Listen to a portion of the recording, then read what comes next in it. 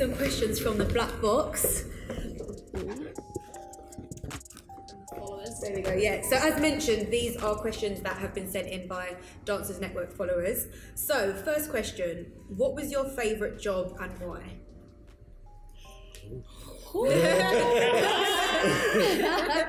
I know mine. Yeah. I definitely know mine. My favorite job was Camila Cabello.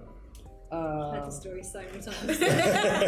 I'll probably tell it for you. um, Royston was representing me on this job, which was absolutely incredible. It already started off insane. The team was incredible, the choreographers, the dancers, like just everything about it. Herself, the energy, you know, everybody wanted this to be the best it could be. And even in a position, then after a little while, I then asked for a higher rate. I did because I I couldn't get over the fact that I'm doing the same as an American dancer, mm-hmm. but getting paid less just because of my geographic station at the moment. Again, I'm from Brazil. I lived in Switzerland. I live in the UK. I'm moving to LA. Doesn't matter where I live. I still am the talent that I am. So this is what I asked my agent, and my agent felt very comfortable asking for that. And then this is essentially what I got. And there wasn't. I don't know if there was a fight about it because if there was, I never knew.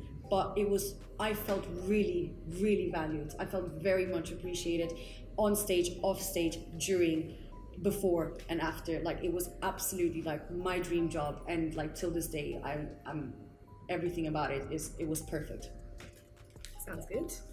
Anyone else?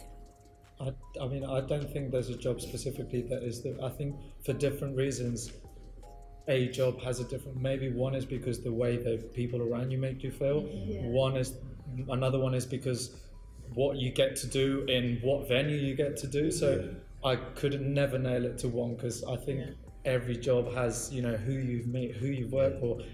Oh my God, someone that is the greatest. Talk to me and blah blah blah. Like you know, I, I could never nail it to one. I think that um, you know all this chit chat, but we really can't forget that you're getting to dance Yeah. and do something you absolutely love, and um, and that just needs to be the core of it. I mean, Yeah. there are people out there who are really living their life miserably. You know, they're just going to work and not doing anything that they love. And I think that, you know, the opportunity to get to work and do something you love and make that your career is just huge. So kind of enjoy every moment of Yeah, it. You know, be be Be literally thankful and, and present and enjoy it. There's so many jobs to appreciate. Like I think I love festivals. I don't, like festivals are one of my favourite things to do with the crowd, the, the loudness of the energy with a live band. Like um, AMCK re- represent me on a job actually with an artist that I've been working with quite consistently, and we've travelled to some amazing places, which is essentially what we all aspire to be as dancers. And we had this one particular one in Dubai, and I don't know what it was about it. Obviously, we've made a connection now with the team. We feel extremely proud of the artist, and like it's just I just remember being backstage. We'll have our little warm up, like have our say a little prayer, and um, it's like the first real show that they were all screaming his name. And you know when you're, it, it was just so it was just packed. It was so busy, and then you're watching. You feel so proud of the artist. You're watching the band set up on stage, looking at them like family, getting in the zone, um, psyching yourself up, like then you oh you hear the drum, the first bit of the music, and you're all together. You know you're going to step on stage. You're on stage. I just and like looking out to everyone and just really feeling the energy from the audience and that exchange, and then looking at the artists. We're all vibing on stage. The, oh, just everything like. Festivals to- to me, looking out at that crowd, hearing the live music and being able to dance some great choreo created by the choreographers of our industry and just like really feeling appreciative of we're on a stage doing what we love, like whatever else goes on, like this is what it's about. Oh, so I- as I- you've just said all that, I was literally like, you brought me back to when I was standing on stage. I was like, oh my god, yeah, I forgot, you know. When Like, that drum goes, boom, Yeah, yeah, like, yeah. I'm in it. I'm kind oh, like, oh, oh my god, like the passion. It's like, no, I'm there, I'm present. This is what we do. This is why we feel so passionate about this because we are so lucky. What we do is so unique, and people really look up to people following their passions. And oh, if we can just create something that we're just I think that's know- what's beautiful as well. Like you said, is building those relationships with people. Like you know, we're all strangers. We come into we come in as strangers. I, like ideally, you know, we have an idea, and you have your family, and you sometimes your family don't get it. You want to get danced on, right? Do you know what I mean? like, you know what I mean? But you come into this world and. People are like you gravitate to people that have the same passions as you, and then you're on stage or you're creating, and you know even artists you become friends with, and you see their growth, and you see them going from like you know the little show with two of you now it's like 20 of you and mm. you know and that's what's also amazing it's just you know fulfilling like ambitions. And i remember when i was young ambitions used to be something that like could never happen that's what an ambition was like oh what's your ambition oh i want to go on the moon you know what I mean? But like, certain like, um, I think as dancers, we actually fulfill our ambitions. Like, I want to perform on stage. I want to, you know, I want to be on TV. I want to dance. I want to do, and you do them. You know what I mean? I think that's really amazing. And just another note as well, um, that this thing about the agents, a lot of us have been there and they've been in the exact same shoes that you're in, you know, even from dance students to dancers to choreographers. So, you know, I've really been doing this a long, long, long time and get the vulnerability and the nervousness and the the bit about not wanting to speak up and all of that stuff. But um, you know, it's like we're real human beings, you know, and, and not these scary things. So just really, really, really just come come and talk. Sounds good. That's basically it. Check.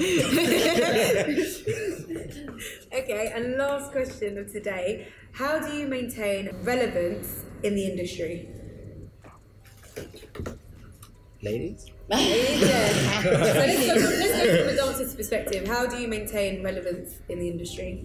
You know what? I feel like I come from a training background. I love training, and I think it's very, very important to keep training. I don't, I don't know any other, you know, profession where you have to actually religiously train like you do like any athlete would have to do the same. Do you know what i mean? And that's what we do. We are athletes and you know our bodies have to maintain for us to not get injured for us to not you know and adapt. and adapt with times. time because you know time is changing and it's changing faster than ever. I don't know if it's because I'm getting older, but it's you know it's getting yeah. And I think It is. training. Yeah, yeah, I'm like, yeah, it is. Right? I could never dance what you are dancing.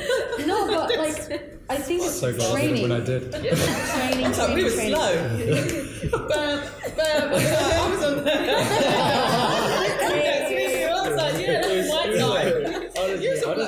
don't I could have been a dancer. Oh, yeah, I definitely. Well, I would definitely say training, and I think also again moving with time. Like a lot of people see social media as a negative thing. I think it can be a beautiful tool mm. that you can use to stay relevant. That you can use to showcase the new things you've learned. That you can use. Do you know what I mean? Like there's so many negative things about it, of course, but that is something that you can use it for. And I think that's pretty helpful because back in the days it was very hard to show what you can do. Now it's very easy to find. Okay, what can this person? Okay, cool, got it. You know what I mean? Yeah. So I think yeah. it's also very important to treat yourself as a business. Yeah. You know, each dancer is a business. You're a brand, and I hate that word brand, but you're like a brand. it. Yeah, I just, I, I mean, I, I don't hate the word. It's just very that word right now. But you know, everyone's a business. So you know, have your um, have your photos, have your show reel. Like you said, if you've got Instagram and Facebook, use those as tools to you know to showcase yourself and be very wary of what you put on those platforms. You know, it's all good having class, class, class, but then you know you also don't want to be in the club, in the club, in the club. Do you know what I mean? Because obviously that does reflect who, you, who you're trying to showcase as a brand, um, and just make sure that when when asked, you have it. You know, there's a lot of people you ask these days and they know. Yeah. You know, it's like, oh, can I have your pictures? Oh, I haven't taken any pic. Why? That's a detriment to you. You know what I mean? So make sure that you are you have your your um, your points of contact. So just know what you're talking about you know and have and make sure you're a business and a walking business. Yeah, I um, I really, really believe in this, and that's Fatima was actually saying this um, over the summer, talking to a group of students, and she was really like, "You need to stay ready. That is that is the point, right? Mm-hmm. You got to stay ready all the time. That means your picture's up to date. That means your CV. Every time you finish a job, update it directly onto your CV, so that not when you're asked for it, it's not like oh, and I can't get it to you till six p.m. because I actually have to sit there and write it all down. You know, keep doing your research. Absolutely, hundred percent. Training, training, training, training, training. Mm. Keep just popping in, learning new skills, and that's the way that you stay relevant. But you're really just kind of staying ready, staying on top of your game. I think what you've just touched base on there is really important. Actually, research, um, like with what choreographers are actually choreographing for what artists right now. Like even some dancers, I'm amazed. I'm like, you really have done your research. They know what artists could potentially be going on tour next, and then they'll know what choreographers would be potentially choreographing it. So then they'll look up their classes if they're from America, or they'll be in the classes if they're from London, and they will make themselves seen, and they will stay relevant purely because they've just done their research and look mm-hmm. back and think about what is coming up next. And even in regards to auditions, like the style, the way that you dress like it, like all you say this a lot, Weston, as well, like to just yeah, be very particular about how you're going to present yourself in that audition and how you're going to dress and be seen because that will potentially benefit whether you're going to get the job or not. But Also, research in regards to what is coming up is Make sure when you're dressing, you're dressing that suits you. Yeah. Don't mm. get on that bandwagon Know of your dressing. Yeah. Yeah. Because that's the particular style and that's the flavour. Then you walk into audition, everyone kind of looks the same, and or you're wearing something that totally doesn't suit you because you think that that's And that's all that about is the- knowing your business. Yeah. you know what I yeah, mean? exactly. It's just being a clever dancer, not just a dancer. Smart dancer. Being a yeah, professional. smart dancer. Yeah. And the only, but the only way you're gonna get smart is by asking and observing, you know, learning, growing every single day, and, and researching. I think research is a really good one. That you, yeah. Do things that scare you. It's the only one of progressing. What's that? What's that? Do things that scare you. That's the only way of progressing Yeah, forward. feel the fear, do it If you feel comfortable doing it, then that means you're not forwarding anywhere. You're just doing what you do. Okay, we're dropping quotes because I have a few notes. We're dropping quotes. I don't know them by, by heart. Hashtag. This is network. Hashtag be the movement. Hashtag. No, that's great. Yeah. No, really good. And thank you again, everyone, for coming down. I know that Dancers Network are really grateful. And yeah, everything that was discussed, I believe, will really, really help people that are in the industry and upcoming in the industry. So, again, a massive thank you to everyone. Thank you. Thank you.